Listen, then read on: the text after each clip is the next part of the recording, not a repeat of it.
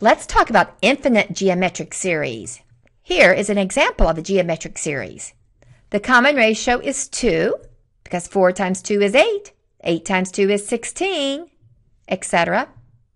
And it goes on and on and on. So if I am given an infinite geometric series where the absolute value of the common ratio is less than 1, my formula for finding the sum of all the terms in the series is given by S is equal to A sub 1 divided by 1 minus R. Now, if the absolute value of R is greater than or equal to 1, then the sum does not exist. Let's try one. Find the sum of the infinite geometric series if it exists. 12 plus 6 plus 3 plus dot dot dot.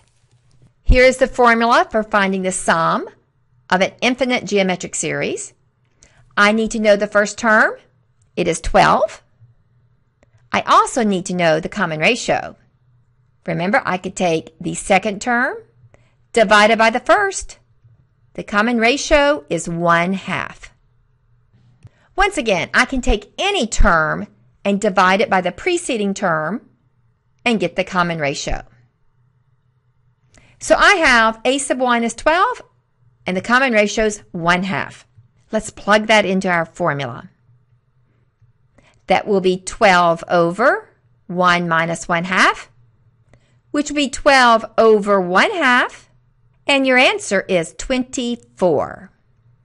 Remember, 12 divided by 1 half is the same as multiplying by the reciprocal. Let's try another problem.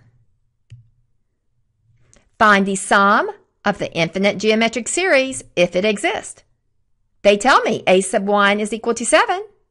The common ratio is equal to negative 3 fourths. Now remember, the absolute value of the common ratio needs to be less than 1.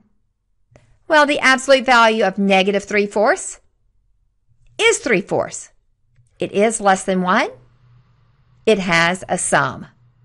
Let's find that sum. Here's my formula.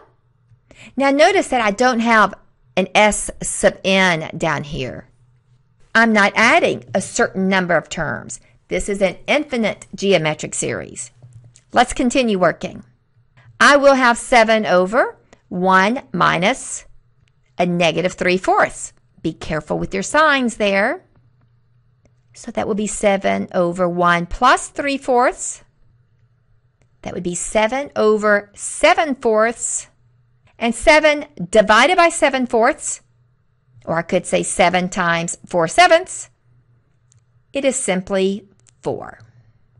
The sum of this infinite geometric series is 4.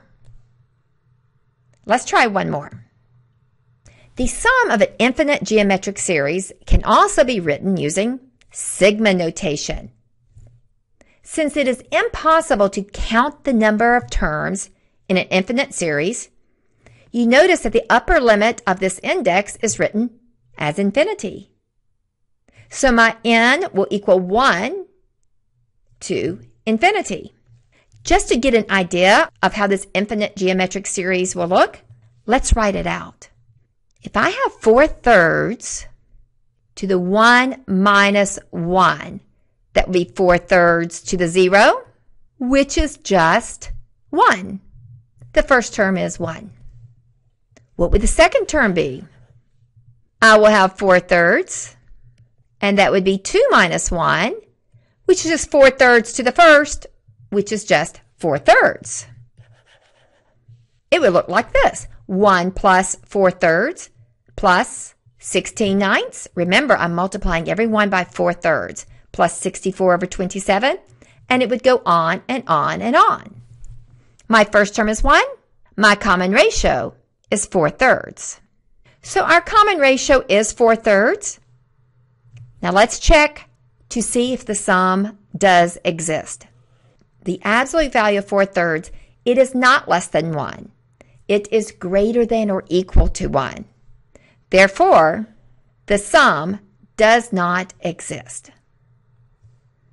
So once again, to find the sum of all the terms in an infinite geometric series, the sum will equal a sub 1 divided by 1 minus r.